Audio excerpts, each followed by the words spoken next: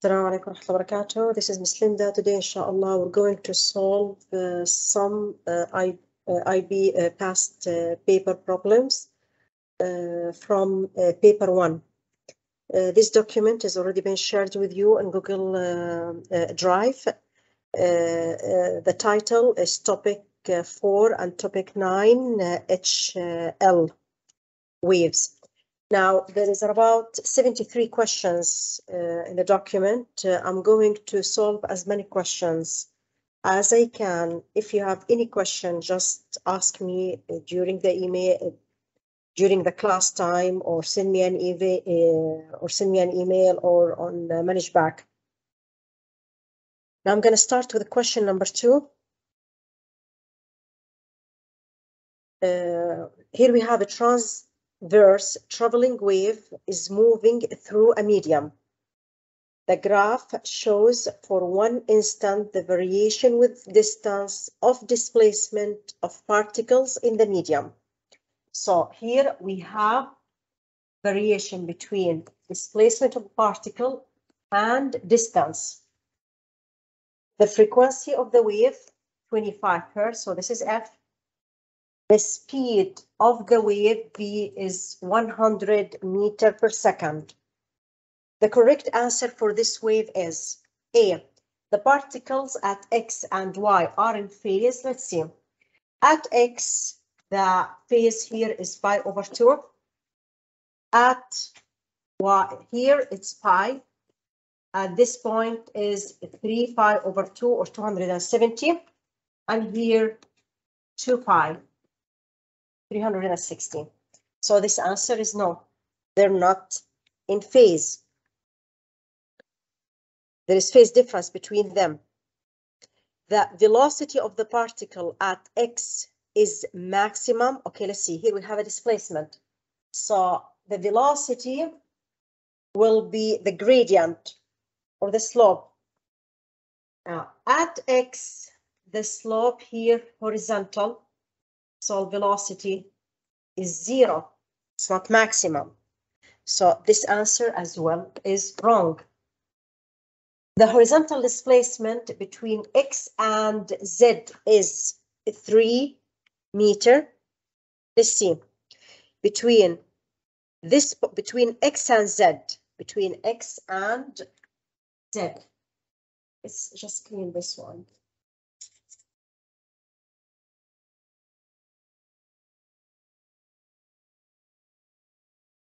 Going to find the wavelength lambda. Okay. How can I find lambda? I have velocity, it's lambda times the frequency. If I need lambda, it's velocity divided by the frequency. Velocity of the particle is 100, frequency is 25. So lambda is 4. Lambda is the distance between two points that are in phase or they're doing the same thing. So if I take this point, this point is oscillating up, this point here down, and this point here is oscillating up. So this distance from here till here lambda, and this lambda is 4 meter, 4 meter. The distance between x and y, will it be 3? Yes. So the correct answer, this is 4 meter. Okay, so each one here will be 2. So it's about 3 meter. So this answer is correct. The distance between x and z, 3 meter. Okay. Now, uh, I'm going to solve question three. Question three, you have monochromatic light. Monochromatic, it means one uh, color with the same uh, frequency is used to produce to produce double slit interference fringes on a screen. The fringes, the fringe separation on the screen is wide. Okay, so here we have double slit, the distance between them is a small d. Here I have light, has wavelength lambda. And here we have a screen.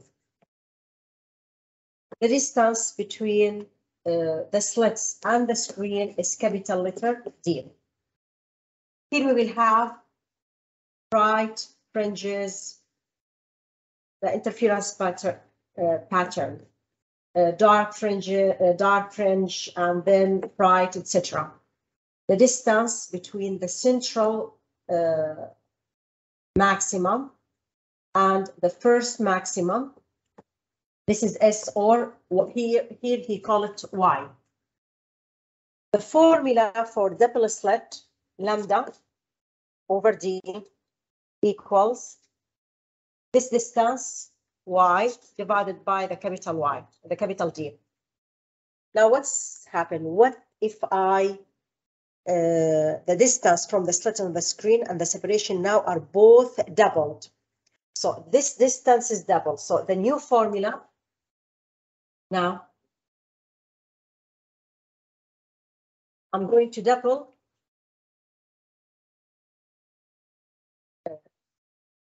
the distance between the fringes and double the distance to the screen. What will be, what is the new fringe separation on the screen? Nothing, nothing actually happened because this and this, they cancel out. So still, still to remain y. Okay. Now for, for you're going to use This is polarization. So unpolarized light. Unpolarized light, it means that light vibrates in all direction. Now we said we said we're going to use only x and y direction for simplicity. Okay. This is unpolarized light is incident on two polarize, uh, polarizing filter, X and Y. They are arranged so that light emerged from Y has a maximum intensity. X is fixed and Y is rotated through theta about the direction of the incident beam. What is the first three uh, successive values of theta? Now, the formula, I have I naught cosine square theta, cosine square theta. So I need uh, maximum intensity. When the cosine is maximum, when theta equals 100, 180, which means pi or 180, 2 pi, 360, and 540. So the correct answer is C. Okay. We'll go to question number six. Um, I think it's easy, but let's do it. Let's do this question. Here you have a graph that shows the variation with time for the displacement of a particle in a traveling wave. So I have relationship between displacement 10 to the power 6 meter and time 10 to the power 6 second. What is the frequency and the amplitude? Let's start with the amplitude amplitude is maximum displacement. So maximum displacement here is 2, amplitude is 2 times 10 to the power negative 6 meter or 2 micro. Now, frequency, frequency is the inverse of period. Now, the period of time, the distance between two uh, consecutive points. Okay, so if I take this point, the first crest and the second crest, the distance here is what time 20 millisecond. So it will be 1 divided by 20 times 10 to the power negative 6. And this will give us 50,000. 50,000, that means 50,000 hertz or 50 kilohertz, kilohertz. So the correct answer is C. C is the correct answer. Okay. We're going to question number seven.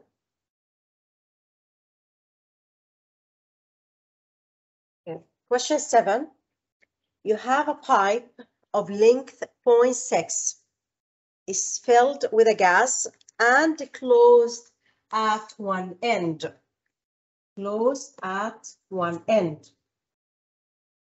The speed of sound, so the velocity of sound in the gas is 300 meter per second. What are the frequencies of the first two harmonics? Now, close at one end, this is the first harmonic. Here we have node and here antinode. So length L, it's quarter lambda. If I do cross multiplication, lambda will be 4L divided by n. n goes from 1, 3, odd numbers. So frequency, the velocity divided by lambda. So V divided by 4L over N. This is the frequency. So I need the first harmonic, F1, with the velocity, which is 300, divided by 4 times the length 0.6. The third harmonic will be 3 times 300 divided by 4 times 0.6 or 3 times F1. So if you calculate these two answers, you should get 125 and the other one 375 hertz. Okay. Now eight, you have a particle performs simple harmonic motion. What is the phase difference between displacement and acceleration? Always simple harmonic motion. Acceleration directly proportional with negative that displacement. So phase difference is pi. Okay.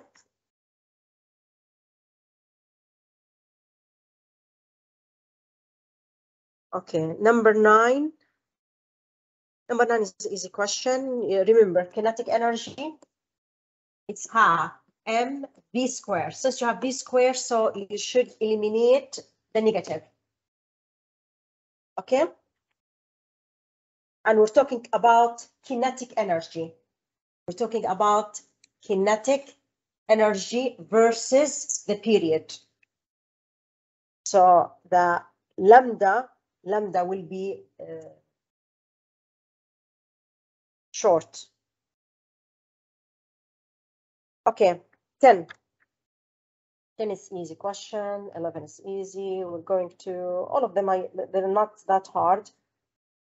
But um, I tend to solve questions that you need to use formula to solve them. Okay, the question that you need to memorize and understand, I'm going to leave it for you. Question number 12. 12. Okay, you have a string fixed at both end, vibrate in the first harmonic. Fixed at both end. So this is the first harmonic. L equals lambda over 2. So lambda will be 2L over N. N goes from 1, 2, 3, etc. Okay, now I need the length uh, of the spread. He gives you what? He gives you the frequency F. He gives you the speed V. So frequency is velocity divided by lambda, 2L, and here N. The first harmonic n equals 1. So 400 equal 1 times the velocity divided by 2L. Cross multiplication and find L. So L will be equal 480 divided by 2 times 800 divided by 800. 480, 480 divided by 800. We should get 0.6 meter, 0.6 meter. Okay. Now question 13. Question 13, you have a graph that shows the variation of the displacement of a wave with distance along the wave. The wave speed is 0.5 meter per second. Okay, and here you have displacement versus distance. What is the period? What is the period? Now remember, velocity, it's distance or divided by time or wavelength divided by the period. I need the period, swap. So it will be lambda divided by velocity v. Lambda or the wavelength, wavelength, the distance between two point consecutive point that are in phase or doing the same thing. So if I take crest and crest, this distance is 1.5 divided by the velocity 0.5 and you should get three second, three second.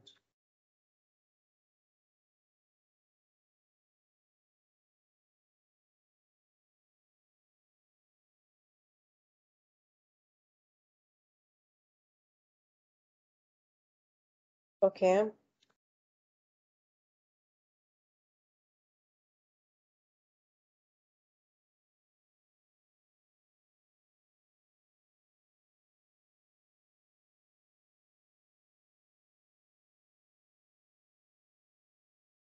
Okay, question 14.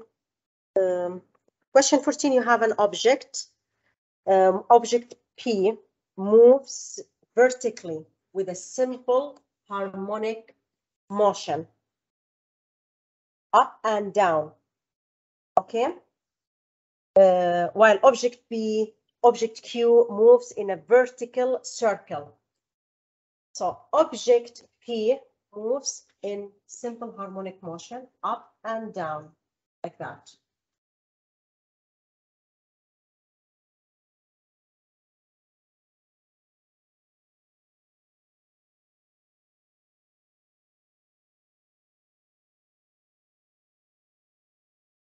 The distance between two points that are in phase, this is T, the period.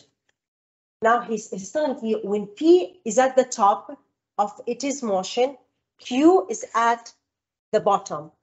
So when P is at the top, Q is at the bottom. So what is the interval between successive times when the acceleration of P equal and opposite to the acceleration of Q? I needed the period. The, this distance from here till here, it's half the period. If this distance is T, the distance from here to here is t over 2. So it's t over 2. t over 2.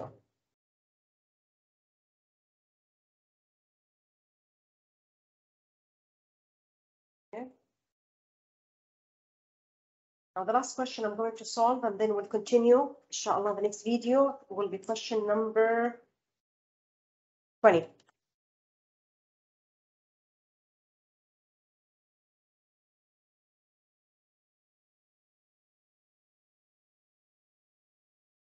Okay, here you have experiment to determine the speed of sound in air. A tube that is open at the top is filled with water and a vibrating tuning fork held over the tube as the water is released through a valve. So here we have a, a tuning fork. Um, it's been struck and going to vibrate. This tuning fork is held on the top of tube that is filled with water and here the valve the uh, uh, that has valve here. An increase in intensity of the sound is heard for the first time when the air column length is x.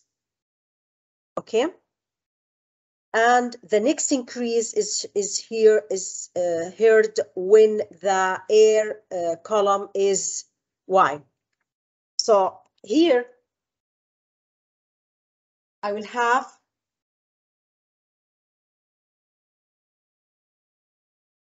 here I have node here and this is here open so anti-node. So it will be like that. Here I have node and node so it will be almost like that. Um, it's not it's not well drawn, but you you understand the idea. Now here the length between here and here, this is lambda over two. And from here till here, this is quarter lambda. So x will equal lambda over four, while this distance from here till here, this is, is y, all what this, the whole length, the whole depth y minus x. So this one is y minus x. So y minus x equals lambda over 2.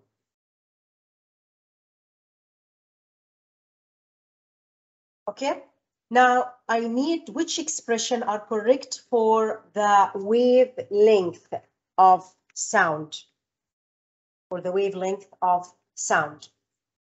Let's start with the first one.